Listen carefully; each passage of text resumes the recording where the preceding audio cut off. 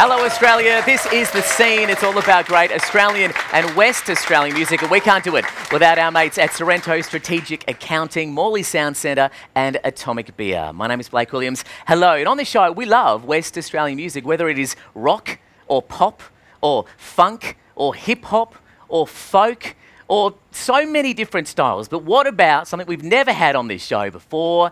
Big band jazz. In fact, tonight we are raising the brow. Even our crew are going black tie. Where's Matty Milford? There he is. Look, even our crew are looking dapper tonight. Please give it up for the swinging sounds of the 50s jazz from Mace Francis, plus 11.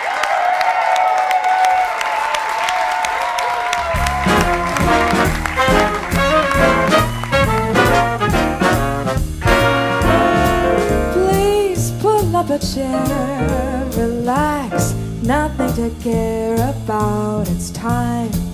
Some wine, a glass or two for you. Then we can talk. What would you like? A start to fill your appetite, and then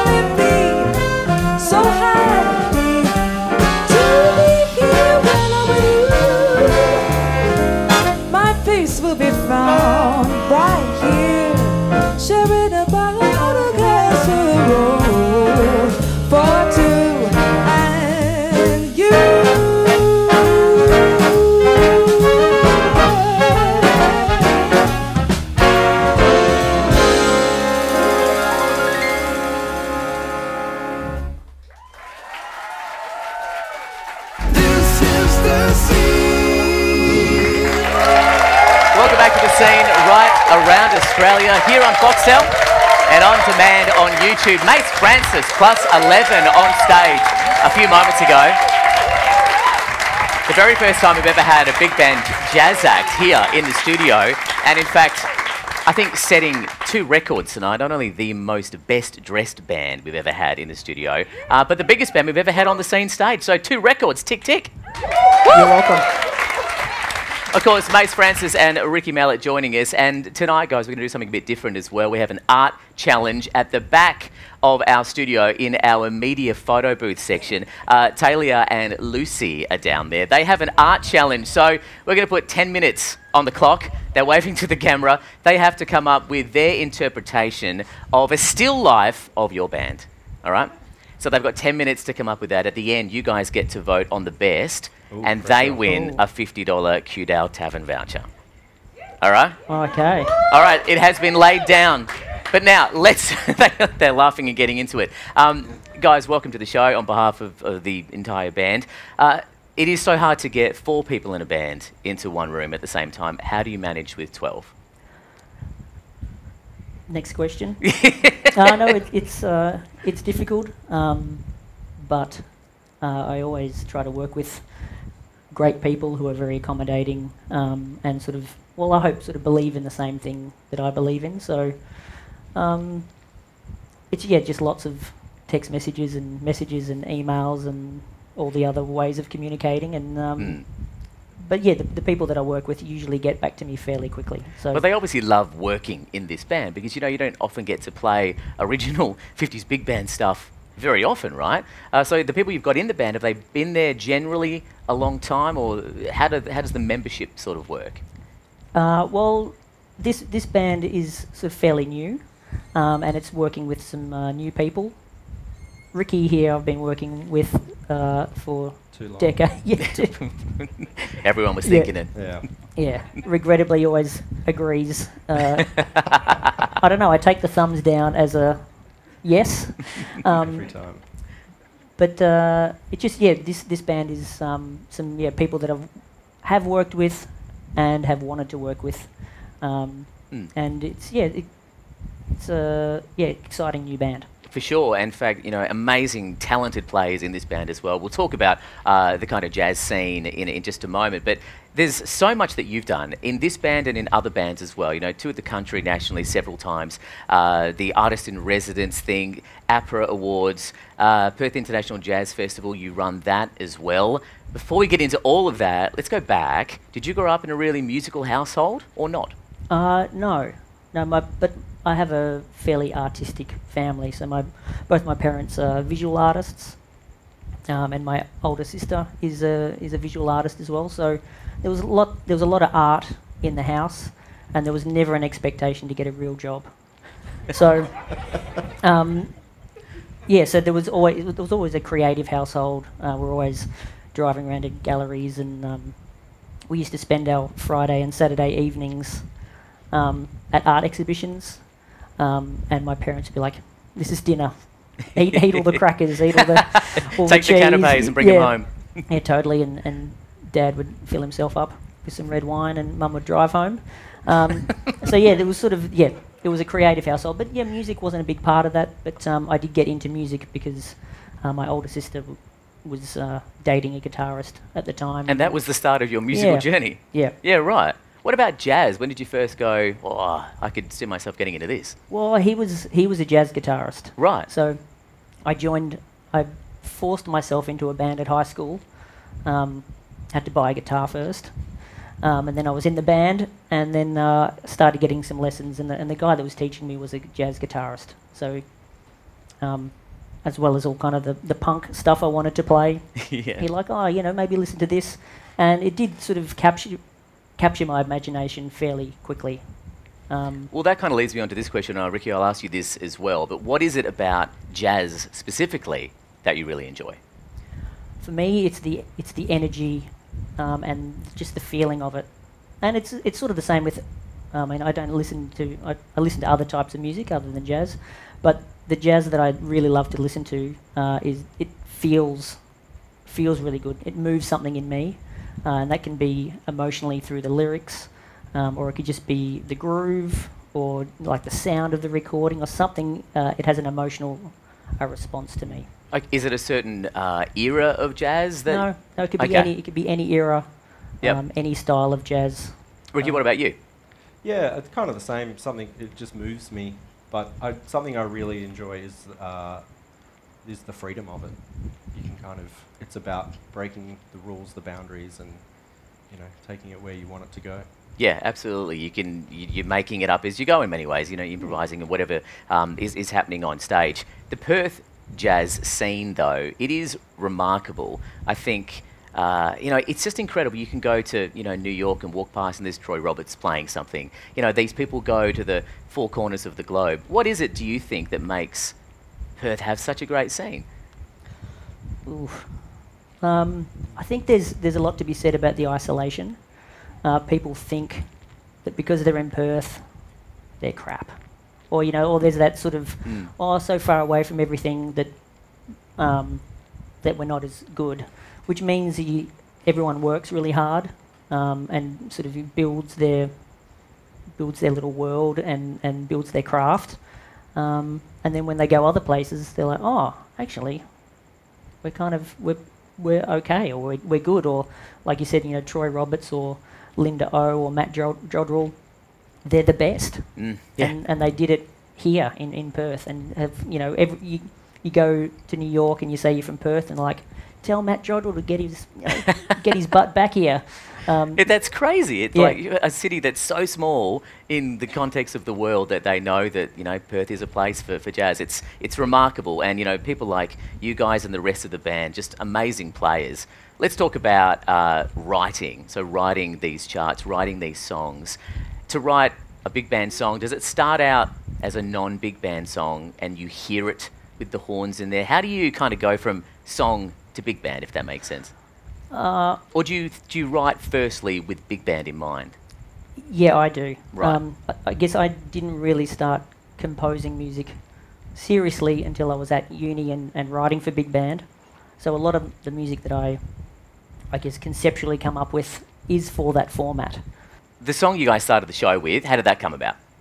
Well, that was uh, that was written as sort of a song, like um, well, yeah, obviously, or not obviously, but it was a lyric, oh, a melody and chords, um, and then sort of adapted from that. But sort of my composition um, experience has been sort of conceptualizing the big band first, the, sort of writing it for that format first. So I've sort of gone a little bit backwards, um, just because my education into composition was at uni through WAAPA. Mm. And I was, yeah, sort of some of the first tunes I ever composed were for big band. So it's sort of, um, it's kind of what I know. Yeah, for Yeah. sure.